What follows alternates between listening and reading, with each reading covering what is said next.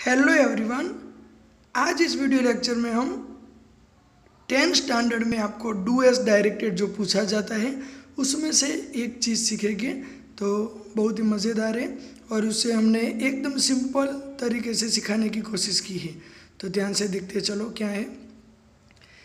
Rewriting using unless in place of if या तो आपको पूछ सकते हैं यूज़ अनलेस मतलब अनलेस का यूज़ करो। या तो सेंटेंस दिया है और पूछेंगे कि इसके अंदर इफ़ के बदले आपको अनलेस यूज़ करना है। जिधर इफ़ है, उधर अनलेस यूज़ करना है। तो इसमें बहुत सारे स्टूडेंट्स कंफ्यूज हो जाते हैं, लेकिन ये सिंपल टॉपिक है, हम देखते हैं। देखो, सबसे पहले हमको क्या ध्यान रखना है कि अनलेस अनलेस जो वर्ड है, वो खुद एक नेगेटिव वर्ड है। जब उसका ट्रांसलेशन करेंगे ना तो उसका मतलब नेगेटिव होता है। तो देखते हैं, चलो एक लिखा है। Unless you practice you will not learn maths तो यदि तुम प्रैक्टिस नहीं करोगी तो देखो सेंटेंस के अंदर ऑटोमेटिक नहीं आ जाएगा। अगर तुम प्रैक्टिस नहीं करोगी तो जो अनलेस है, ये नहीं उसका ही है। तो गणित नहीं सीख पाओगे। ठीक है? तो ये नहीं जो है वो अनलेस का ही ट्रांसलेशन में आएगा। तो इसीलिए वो ऑलरेडी नेगेटिव है। तो उसके पीछे दूसरी बार नेगेटिव नहीं आना चाहिए। It means don't use not after unless unless के पीछे कभी भी नॉट आना चाहिए नहीं। वरना वो डबल नेगेटिव हो जाएगा। और डबल नेगेटिव जो हम राइटिंग करते हैं राइटिंग इंग्लिश में, वो एक रॉन्ग चीज़ है। तो देखो एक सेंटेंस दिया है।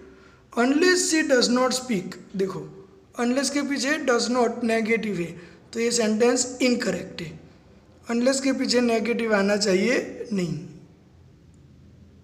ओके okay, स्टूडेंट्स अभी इस टॉपिक को आसान बनाने के लिए हमने खाली दो ही पॉइंट लिखे हैं लेकिन आप समझ जाओगे। एक ट्रिक है याद करने की। वॉच इफ़ क्लोज मतलब आपको जो सेंटेंस दिया है ना उसमें सबसे पहले आपकी नज़र इफ़ वाले क्लोज के ऊपर पड़नी चाहिए। फिर उसको रीड करो। अगर वो नेगेटिव है तो उसमें से नेगेटिव निकालना है। रिमूव नेगेटिव बस दैट्स इट उसके बाद कुछ भी चेंज करना नहीं है। I repeat watch if clause if clause को ध्यान से देखो। अगर वो नेगेटिव है तो रिमूव नेगेटिव उसका नेगेटिव निकाल दो। बस, और कोई चेंज करना नहीं हो गया। Second tip watch if clause if clause को ध्यान से देखो। अगर वो पॉजिटिव है मतलब नेगेटिव नहीं है, अगर वो पॉजिटिव है, उसके पीछे नॉट लगा हुआ है ईप क्लोज में तो आपको क्या करना पड़ेगा? तो आपको अनलेस यूज़ करने जा रहे हो तो आपको क्या है मेक अदर सेंटेंस नेगेटिव दूसरे सेंटेंस को नेगेटिव बनाना है। दूसरे सेंटेंस को नेगेटिव बनाना है। तो सिंपल चीज़, अगर इफ़ क्लोज आपका पॉजिटिव है तो आपको दूसरे सेंटेंस को नेगेटिव बनाना है। अगर इफ़ क्लोज नेगेटिव है तो खाली नेगेटिव निकाल देना है, बस दैट्स इट चलो देखते हैं। If Virat does not play now he will lose everything देखो विराट कोहली के बारे में if Virat does not play now he will lose everything चलो सबसे पहले हमारी नज़र जाएगी इफ़ क्लोज पे। गई? चलो। इफ़ क्लोज क्या है? Negative if Virat does not आ गया नेगेटिव तो ये पहली वाली टिप हो गई कि इफ़ वाला क्लोज नेगेटिव है। तो उसका नेगेटिव निकाल दो, बस दैट्स इट और कोई चेंज नहीं करना है। तो इफ़ के जगह अनलेस लिखना है। तो स्टार्टिंग में आएगा तो यू कैपिटल बीच में आएगा तो you small unless Virat place देखो डज नॉट आप निकालोगे, ये खाली नॉट नहीं निकलेगा। डिड नॉट है डू नॉट है डज नॉट तो उसको साथ में ही निकालना है। वो ग्रामर के हिसाब से। तो अनलेस विराट प्लेस अगर डज नॉट जाएगा तो वर्ब के पीछे यस या तो यस लगेगा। डिड नॉट निकलेगा तो ईडी लगेगा। तो ये सब रूल्स आपको पता है ऑलरेडी तो अनलेस विराट प्लेस देखो यस लग गया। Now comma he will lose everything इस सेंटेंस के अंदर कुछ भी नहीं करना है। इसमें बच्चे गलती कर देते हैं। ओके चलो second if they do not complete homework they will be punished चलो इफ़ क्लोज में हमारी नज़र जाएगी। If they do not complete homework do not negative आ गया चलो। नेगेटिव आ गया इफ़ वाला क्लोज नेगेटिव तो उसका नेगेटिव निकालना है, बस। तो इफ़ दे अगर डू नॉट निकल जाता है तो वर्ब के ऊपर कोई इम्पैक्ट होता नहीं है। एस यस कुछ लगता नहीं है। तो unless they complete homework they will be punished okay बहुत आसान है ना? ये दो टिप्स देखने के बाद। चलो, अब तीसरा देखो। इफ़ यू प्ले स्मार्ट अभी देखो ये सेकंड वाला आ गया। इफ़ क्लोज के हमारा देखते हैं, चलो। इफ़ यू प्ले स्मार्ट मतलब इसमें तो नेगेटिव नहीं है मतलब ये पॉजिटिव सेंटेंस है। तो उसमें क्या करना है? दूसरे वाले सेंटेंस को नेगेटिव बनाना है। तो इफ़ के बदले अनलेस रख देते unless you play smart you will not win देखो, हो गया you will not win okay चलो. He was furious if any one entered his room फिर से सेंटेंस देखते हैं. देखो इफ़ वाला क्लोज इसमें बीच में है. He was furious if clause इधर से स्टार्ट होता है. If any one entered his room तो हमारा ध्यान इसके ऊपर ही जाना चाहिए if clause if any one entered his room ये तो पॉजिटिव है। ये तो पॉजिटिव है तो दूसरे वाले सेंटेंस को नेगेटिव बना दो। तो he was not furious unless if के बदले unless any one entered his room पता चला स्टूडेंट्स अगर इसमें एंटर के बदले डिड नॉट ऐसा कुछ लगा दिया तो पूरा रॉन्ग हो जाएगा।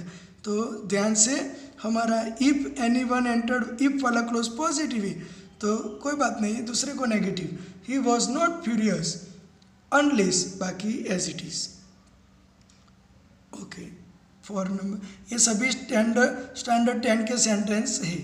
ये ही वॉज़ फ्यूरियस वाला टेन स्टैंडर्ड की बुक से ही लिया है मैंने. तो ये वाला भी उसमें से लिया है तो आपको एग्ज़ाम में भी काम आ सकते हैं, चलो. If I took the money देखो स्टार्टिंग में है इफ़ वाला क्लोज देखते हैं if I took the money इसमें तो मुझे नेगेटिव नहीं दिख रहा. मतलब पॉजिटिव है तो सेकंड नंबर की टिप्स तो पीछे वाले को नेगेटिव बना देखिए। Unless I took the money I could not get the train to Lucknow तो कुड का नेगेटिव बनाना है तो सिंपली कुड नॉट हो जाएगा। लास्ट वाला इसमें देखो थोड़ा ग्रामर में नेगेटिव कैसे बनाते हैं, वो ध्यान रखना है, ठीक है? चलो।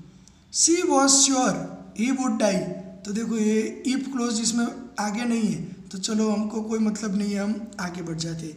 हमारा नज़र तो इफ़ क्लोज पे ही जाना चाहिए। If he did not see आ गया नेगेटिव क्या आ गया? नेगेटिव मतलब इफ़ क्लोज नेगेटिव है तो नेगेटिव उसका निकालना पड़ेगा। उसका नेगेटिव निकालना पड़ेगा।